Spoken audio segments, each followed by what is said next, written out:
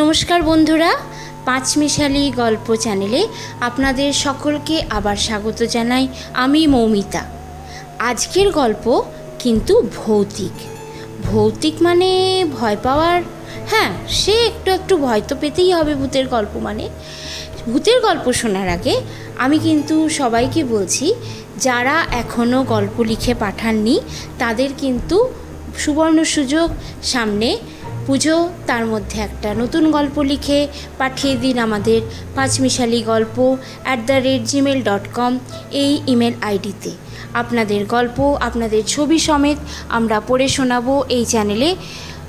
সেরা নির্বাচিত হলে, অর্থাৎ আপনার গল্প সবচেয়ে বেশি লাইক শেয়ার কমেন্ট এবং সাবস্ক্রাইবার আনতে পারলে আপনি হয়ে যাবেন সেই মাসের সেরা গল্প লেখক বা লেখিকা।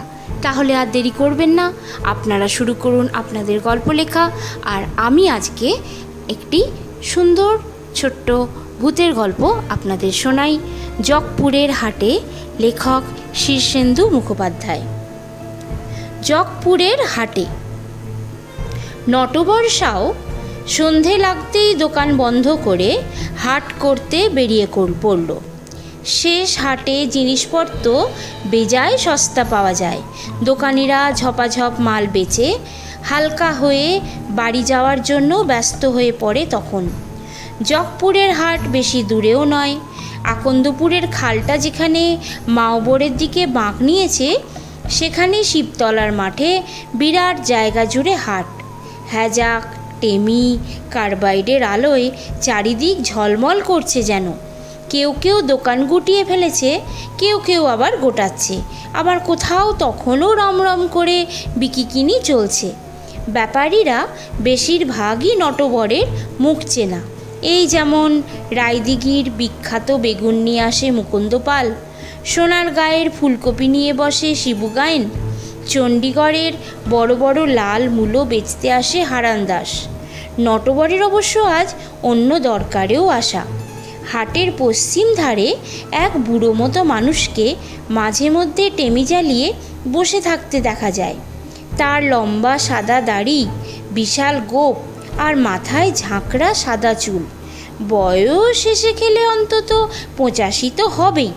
মুখখানার চামড়ার অনেক ভাঁজ, মাথায় একটা সাদা টুপিও থাকে।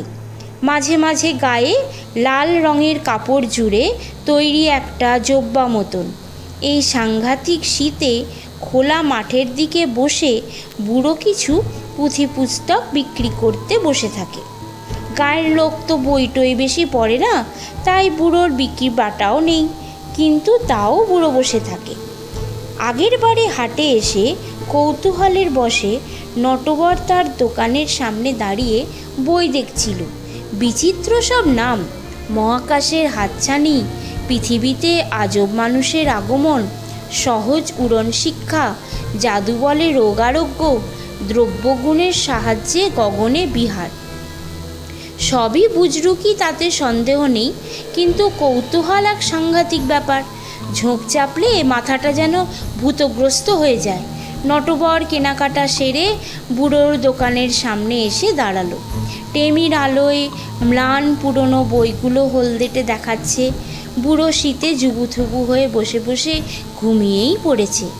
বইটই আগের দিনই দেখে পছন্দ করে রেখেছিল নটবর। সহজে ভূত নামাইবার কৌশল।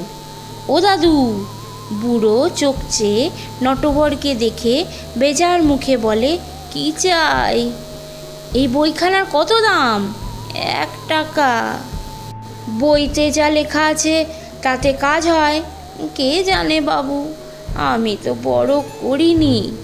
কাজ না হলে বই ফেরত দেব কিন্তু। না বাপু, ওসব ফেরত টেরত হবে না। নিলে নাও, না নিলে পথ দেখো। আহা, এসব তো বুজরুকিও হতে পারে। তা হতে পারে। নটবর একখানা টাকা ঠকাং করে ফেলে বইখানা তুলে নিল। গেল একখানা টাকা, তার কি করা যাবে? বইখানা পকেটে পুড়ে নটবর বাড়ি রওনা দিল। না ভূতে নটবরের বিশেষ বিশ্বাস নেই। সে ভূতটুত মানে না। এ নিয়ে বন্ধু ভজহরির সঙ্গে তার প্রায়ই তর্ক হয়। ভজহরি আবার ঘোর তর ভূতে বিশ্বাসী।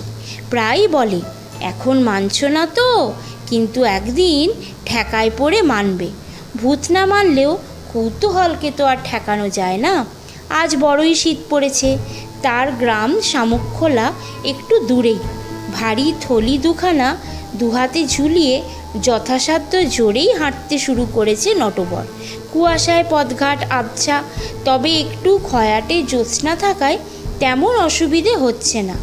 রথতলা ছাড়িয়ে আমবাগানের পাশের রাস্তায় সবে পা দিয়েছে এমন সময় একটা লোক পেছন থেকে তার পাশাপাশি এসে বসল।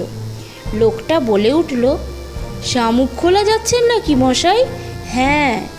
ভালো ভালো। তা হাটে আজ কেমন কেনাকাটা হলো? ওই টুকিটাকি। মূলো, বেগুন, সব পেলেন, তা পেলুম।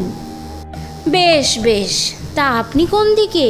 এই একটু বিষয় কার্যে এসে পড়েছিল এই দিকে তা আর কি কিনলেন? এই ঘর গৃহস্থের টুকিটাকি জিনিস। লোকটা হেসে বলল, আছে কিন্তু। কি আছে? ওই যে বলছিলাম না ওই আর কি। আচ্ছা মশাই, আসি, এই ডান হাতি আমার রাস্তা। নটবর ভালো মন্দ কিছুই বুঝতে পারল না। উটকো লোক যে কোথা থেকে উদয় হলো, কোথায় অস্ত গেল, কে জানে। সামনে বাঁ ধারে কপালি দিঘি, চার ধারে গাছগাছালি। দিঘির কোল ঘেঁষে রাস্তাটা পেরোনোর সময় হঠাৎ নটবরের মনে হলো, সামনের ঘাটে কে যেন চান করছে। এই শীতের রাতে ঠান্ডা জলে চান করে কে? ঘাটের কাছে পৌঁছে দেখল চান করে একটা মোটা সোটা লোক উঠে এলো। গামছা নিংড়োতে নিংড়োতে বলল, হাটে গিয়েছিলেন বুঝি? আজ্ঞে হ্যাঁ। তা আপনি শীতের রাতে চান করছিলেন যে চান না করলে শরীরটা বড় ম্যাজ ম্যাজ করে সারাদিনে আমি বার পঁচিশেক চান করি কি না? বলেন কি? ঠান্ডা লেগে নিউমোনিয়া হয়ে যাবে যে? লোকটা একটু হেসে বলল, আরে না নিউমোনিয়া কি আর সকলের হয়? তা হাটে কি কি পেলেন? এই একটু শীতের শাক পাতা শুধু শাক পাতা আর এই টুকিটাকি? শুধু টুকিটাকি? এই সামান্য জিনিসপত্র। লোকটা গা মুছতে মুছতে বলল তা বলে ভাববেন না জানো নেই। কি ভাববো না? এখনও আছে? অনেক আছে। যাই, আরেকবার ডুব দিয়ে আসি। লোকটা ফের জলে নেমে গেল দেখে নটবর হাঁ। আচ্ছা পাগল তো, গায়ের কাজ বরাবর চলে এসছে নটবর। জটেশ্বরের খালের সাঁকোটা পেরোলেই গায়ের সীমানায় ঢুকে পড়বে। সাঁকোতে পা দিতেই নটবর দেখতে পেল সাঁকোর মাঝ বরাবর বাঁশের রেলিংয়ে হাতে ভর রেখে একটা লোক ঝুঁকে জলের দিকে চেয়ে আছে। নটবর সাঁকোতে উঠতেই মজাত করে শব্দ হওয়ায় লোকটা ফিরে তাকালো। চেনা মানুষ নয়। নটবর বাবু নাকি? হ্যাঁ। হাট করে ফেললেন হ্যাঁ। কিন্তু আপনি এখানে দাঁড়িয়ে কি করছেন? মাছ ধরছি? মাছ ধরছেন? বলে নটবর হাঁ হয়ে গেল।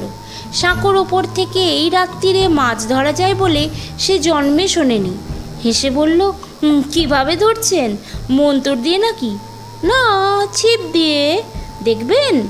লোকটার হাতে যে ছিপ রয়েছে, সেটা এতক্ষণ লক্ষ্যই করেনি নটবর। এবার করল।